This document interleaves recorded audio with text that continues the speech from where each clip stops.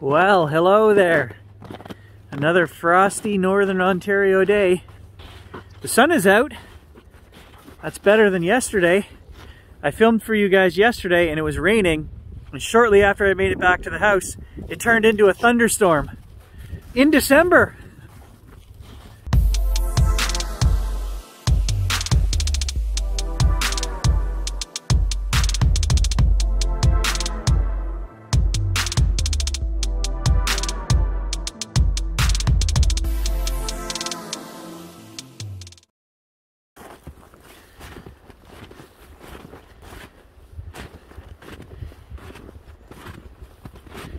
Can anyone figure out what we're filming on?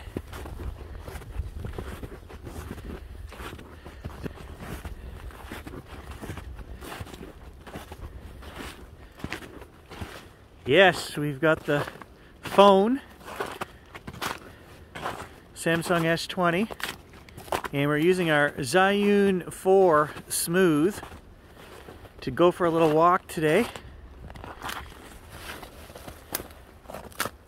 Oh, pretty. Look at that.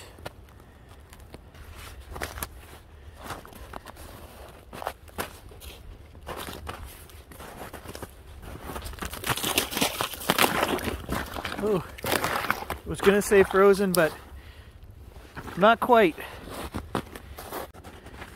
There's something about this combination that's just not quite right.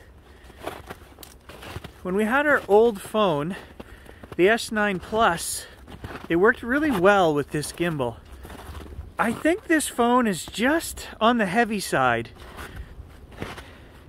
And it doesn't really balance 100% the way it should.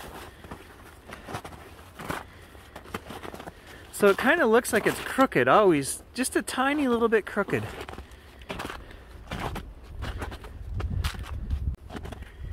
I'm not sure how our trail cameras are doing because not only has it been very cold, minus 20, but then it warms up and it thaws out and it rains.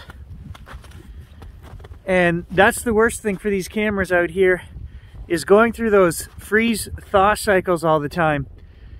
They do have little seals in there to keep the water out, but I'm noticing this year that a few of the cameras, those seals are starting to leak on the older cameras. So I don't know if I can replace those, but this is the worst kind of weather uh, four cameras out in the field. We're at the 4K, the T200 4K camera right here. It looks pretty good because it's set up in the sun. So it gets quite a bit of warmth during the days where some of the other cameras don't. I'm not collecting any cameras today. I'm just out for a walk. I always love this. It's a beautiful spot here.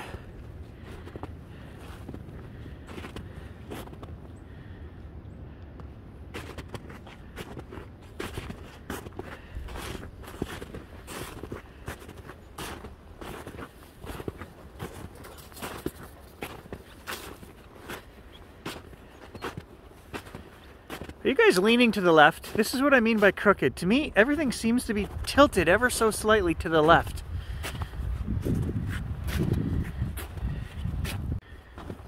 Am I leaning to the left?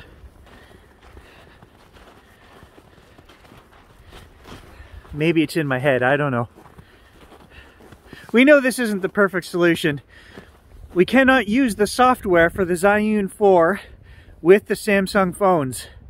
Um, there's a whole suite of gears and controls down here by my thumb and I cannot use any of them, cannot control the phone. So basically I put the phone in the gimbal and I just let it do its thing in terms of stabilization and I just run the video program right on the phone where we actually do have Zhiyun Smooth software that we could run but it won't film in 4K and there are frame rate limitations and I find it glitches out. When I go to edit the video that I record on here, the audio and the video don't sync up. Something to do with the wonky software. So, I mean, I really wish it's 2021 that they would come out with new software for this thing, you know. Don't leave the people in the lurch who spent the 160 bucks on this gimbal. Get us some new software that works with all phones, regardless of phone that you have. And I know it's actually a Samsung limitation, not a Zhiyun limitation because I've contacted both companies and it has to do with Samsung not allowing uh, Zhiyun full access to the cameras on the phone. Silly. I do love the stabilization we get with this combination though. Don't have to do anything in post. I just throw it on the computer, edit it. You guys get a nice smooth ride through the forest. I just wish I could use the controls. That and I'm getting a really good arm workout. We talked about this, but really, after using the AX700 camcorder all summer, I feel I could I could bench this Zhiyun a few hundred times here up and down and it's not going to affect me at all. It's actually feeling pretty light.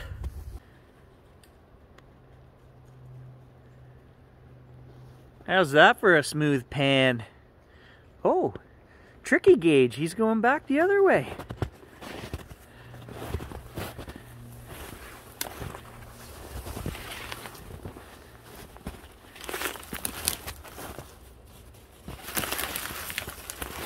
See, I'm climbing over brush and logs right now and you guys don't even know it.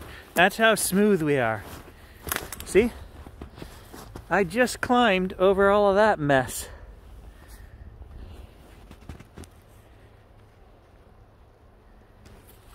But then, then the gimbal acts up as I'm trying to swing back around because, like I said, I think this phone is just a little too heavy. But you guys don't worry about that. You guys just enjoy the beautiful snowy scenery.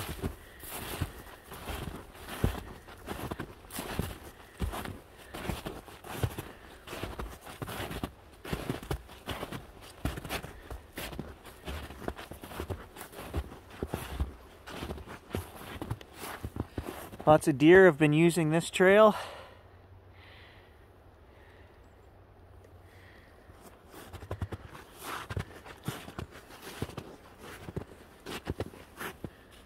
what are got my glove. Gage! Gage, come here, buddy. Good boy. Come here. Sit. Sit. Sit. Okay, give. Give. Give. We've been looking for this for weeks. it's frozen rock solid. Good boy. Okay, now you gotta give it. No, that's not giving. That's fighting. Okay, stop. Stop. Give. Good boy. Okay, sit. Okay, now you need to find the other one. Where's the other one? Go find it. Sniff this one. No, no, no, just sniff. No. Okay, go get it. Oh, I thought he was going to get it. Go get it. Where is it? somewhere along this trail. Okay, go get it. Just like you got my pinpointer. Go, look. Sniff it, sniff it. Go get it. Go get it. Where is it? Go find it. I don't think he has a clue. Oh, I wish I had been watching him closer. He must have dug that out of the snow from somewhere. That's too funny. I was looking for those. I have no idea. Somewhere right around here, there has to be another one within a hundred yards. I just have to get Gage to go sniff it out. Now, I'm assuming that they fell out of my pocket in the same place. I could be wrong, which is why maybe he's confused. Either that or he's just kind of daft and a stick chewer. I'm going with option B here. Scent training and this guy never went well, so I was absolutely amazed. If you guys missed that one, he found my pinpointer, which we lost on a metal detecting uh, expedition, and we went back the next day, and he actually found it for me. So if you guys didn't watch that video, that one was awesome. It would be great if he could find my other glove, but I'm not counting on it. Well, he's leading me on a merry chase, but we don't seem to be getting any closer to this glove, so I don't know, maybe I have to give up on it again. That's disheartening. I was all excited. He had one of them. I was sure I could coax him into taking me back where he found it, but it's not happening. Oh, he'll still get a cookie when we get home. Maybe I'll only give him half a cookie because he only found half the set of gloves. No, that'd just be mean. It's almost Christmas. while I let him look for that, we'll uh, we'll carry on our chat. So, oh, I can I can not recommend a movie for you guys. Yesterday, while it was thunderstorming out, I decided to throw a movie on Netflix, and in the top 10 was The Power of the Dog.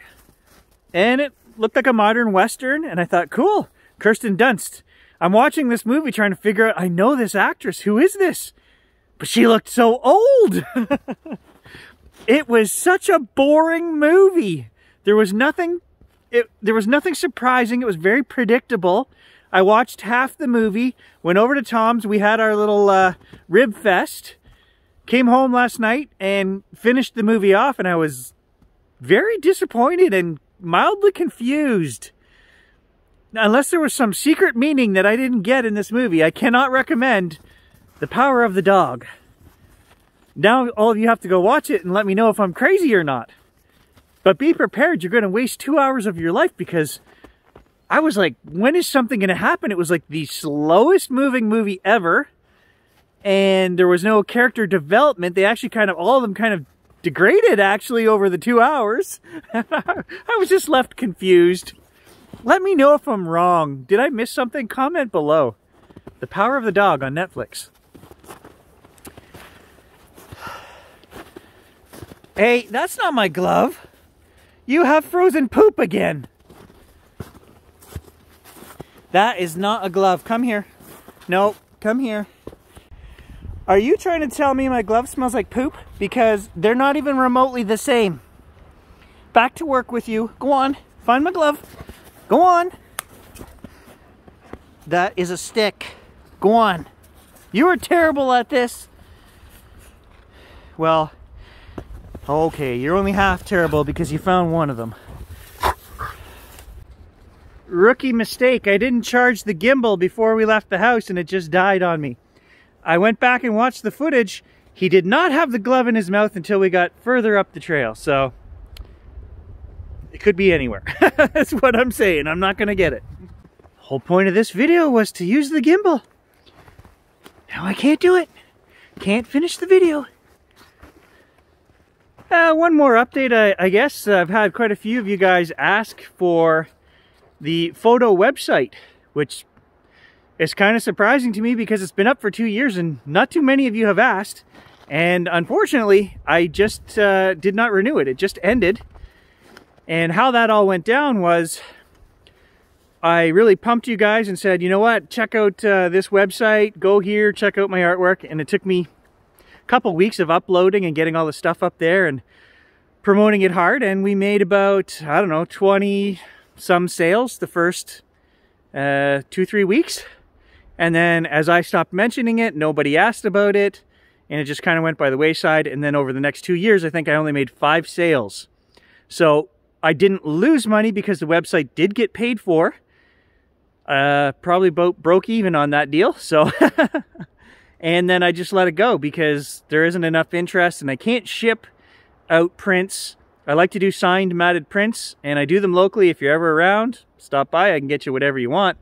But I can't mail them because the shipping is so prohibitive that if I lose a print in the mail, which we did lose a couple, then I am in the hole 30 bucks for each print that I send out because I've got to resend out the prints. On top of that, the costs of my printing, matting, and all of that stuff. So it doesn't take long and I'm I'm losing money on mail out, so I don't do them.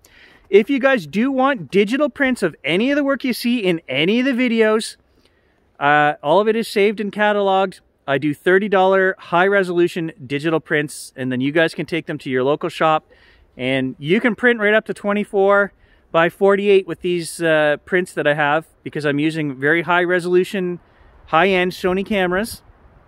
30 bucks will get you guys a print. It won't be signed by this guy, but it is original artwork and it does support the channel. So just email me if there's anything you guys want. It's actually very difficult to hold the phone and film. Get a finger cramp.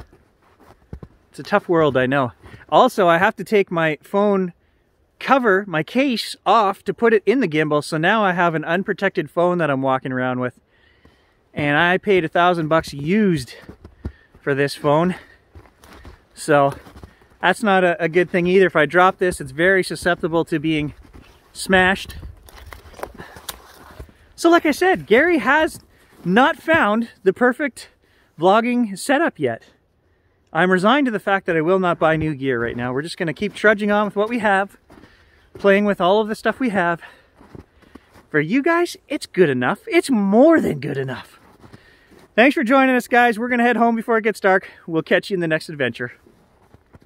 Hey, didn't you mention that you had a cousin that was half bloodhound? And we could spring him out of the pound? Come on, buddy, let's go. We got a glove to find.